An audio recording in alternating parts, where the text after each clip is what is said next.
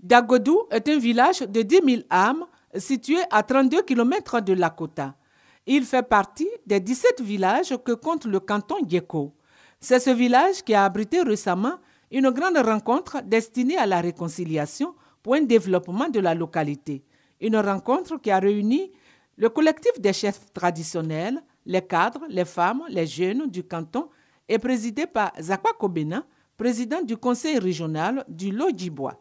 Il s'est agi pour les populations de taire les querelles nées de la crise post-électorale pour se tourner désormais vers une politique de développement qui permettra au canton Djeko de bénéficier de l'eau potable, de routes, de centres de santé, d'électricité, ainsi que d'établissements scolaires pouvant permettre d'améliorer les conditions de travail des enseignants et des élèves.